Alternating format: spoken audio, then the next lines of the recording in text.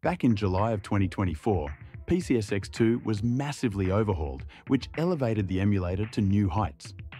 There were advancements to its UI and we were introduced to RetroAchievements for the first time. But importantly, all of the accumulated compatibility fixes from nightly builds were ported to its latest public release. It was quite an achievement at the time, and I was hugely impressed. And as of November this year, 99.5% of all games are either playable or perfect on the emulator. But as we all know by now, playable can mean many different things. So, have these games now been fixed in 2025? Let's find out. I'll start with a quick correction. In my previous video, I assumed that Driver 3 was fixed because it no longer had graphical bugs, but unfortunately, it still has major AI issues.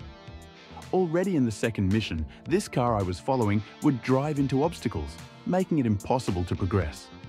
Apparently, the amount of compute power required to emulate proper AI would be astronomically high, so this game won't be playable for a while. Beyond Good and Evil has been improved to some extent, although there are still several graphical anomalies. And these include broken shadows and strange discoloration when travelling on water with the hoverboat.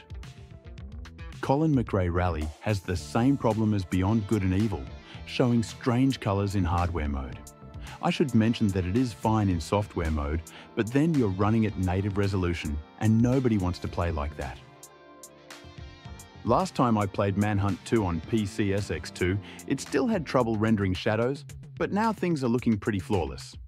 The PC version has problems of its own, so this is arguably the best way to play the game.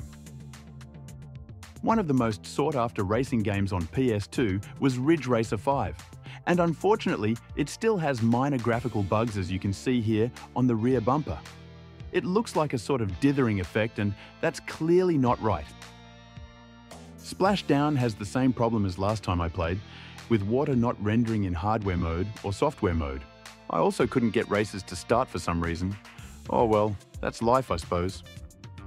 The Godfather can be played on many different platforms, so the fact that lights are visible through walls is not a train smash. Still, it would be nice if the developers could fix the issue.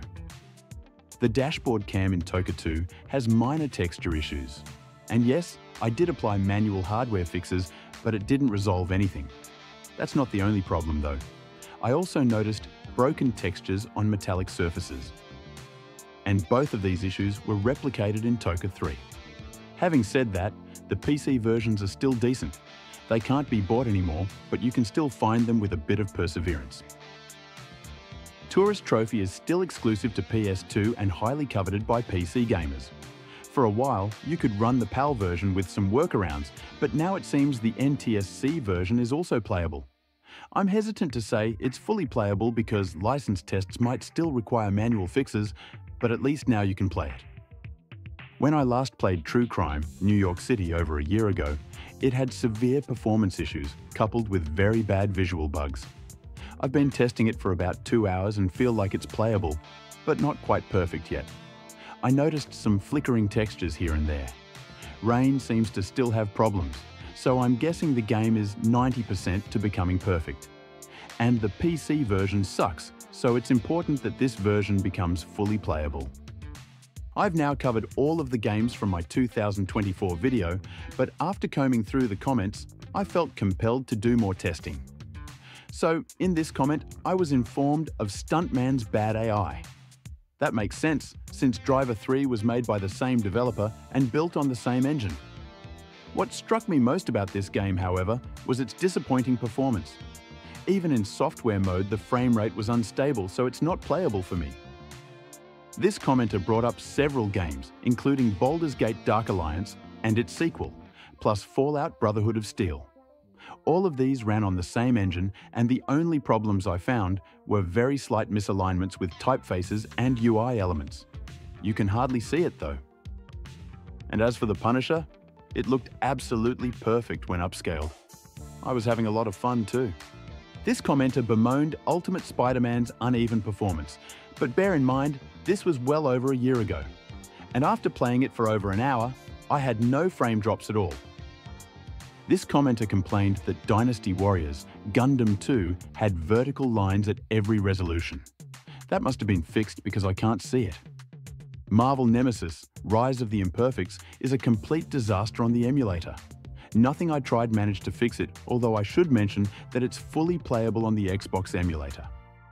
Until this person brought it up, I had never even heard of Stolen. But here it is, warts and all. And as you can see, it still has unresolved lighting issues. Everblue and its sequel refused to load after the initial splash screens, so consider them fully broken on the emulator. One commenter said that Onimusha 3 Demon Siege had visual bugs when upscaled. Apparently this happened because of an update, but as you can see it works flawlessly now. In case you're wondering, all games are running at 1440p resolution. The Yakuza games used to be plagued with severe ghosting issues on the emulator.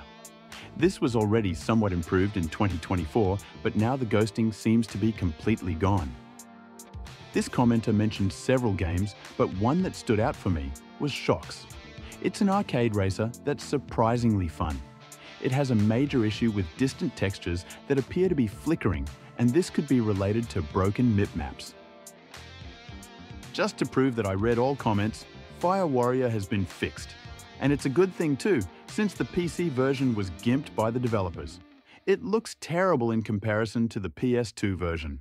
It's not the best shooter ever, but it will keep you entertained. But okay, we've come to the end of my video. If you found it useful, please remember to give a like. Thanks for watching, and have a nice day.